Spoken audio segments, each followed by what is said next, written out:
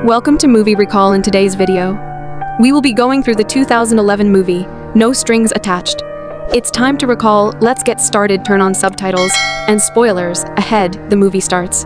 And we are taking 15 years in the past where we see Adam and Emma meeting each other. In a camp as they talk, Adam goes on to tell Emma that his mom and dad might be having a divorce soon. Adam tells her that he is really upset, and Emma is really sympathetic towards him and tries to comfort him. Adam tries to take advantage of the opportunity at hand and asks Emma if he can kiss her.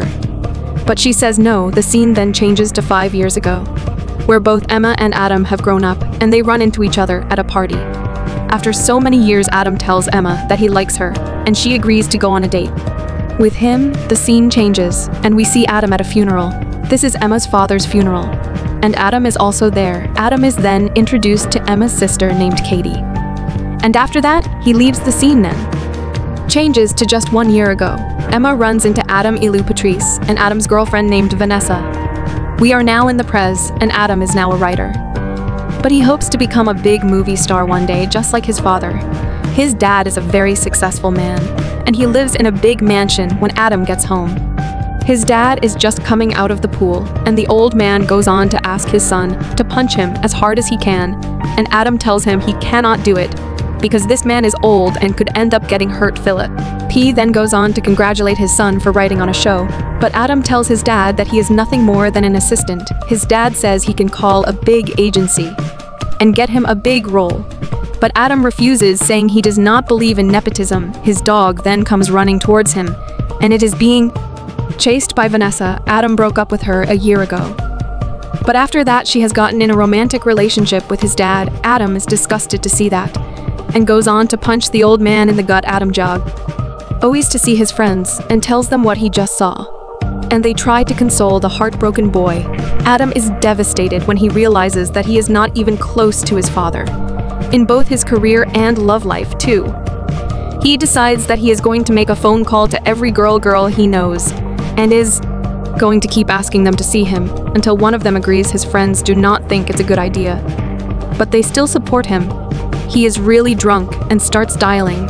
Now the next morning, we see Adam king up on a couch of a stranger, and he does not even know the girl's name she goes on to introduce herself as Shira. And the boy realizes that he does not even have his clothes on, and starts thinking that he might have slept with this girl. This is when a huge guy comes in, and he's holding Adam's. Shirt Adam is devastated to see that because he realizes he could very much have slept with that guy. This is what a friend named Patrice comes out, and Adam is happy to see a face he knows well, Patrice, Chef. Oxen when she goes on to tell him that it was her he slept with. This is when Emma also shows up and he has no idea what is going on here. Emma finally tells him that he slept with none of them, Emma, then tells him to follow him to her room. And as they get there, he goes on to ask her how on earth. Did he get into her room and she tells him that he was the one who drunk dialed her late last night? She tells him that he came to her place, thinking it was his place, and then he just started taking off? His clothes, he's really embarrassed about all this, and goes on to apologize to her.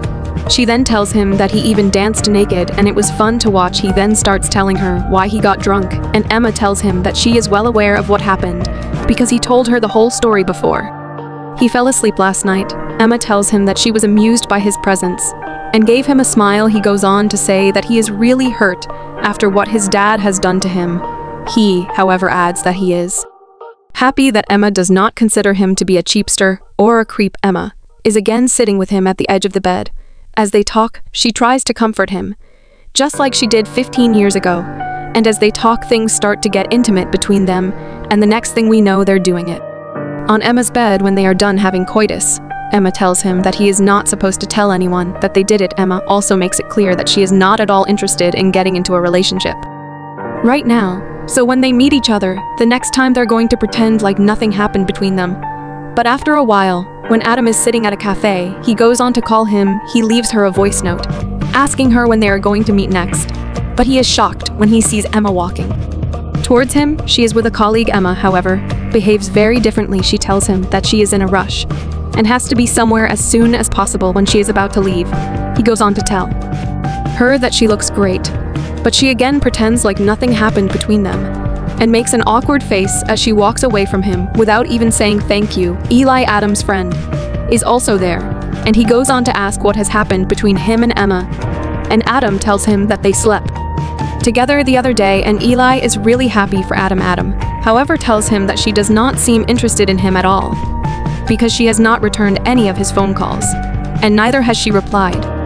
To his messages, Eli then tells him that he should just move and try to get another girl because Emma clearly does not seem that into him. The scene then changes to a hospital lobby, where Emma is sitting with her colleagues. This is when we see Adam walking up to her, and he has a heart shaped balloon in his hand, and when she sees him coming towards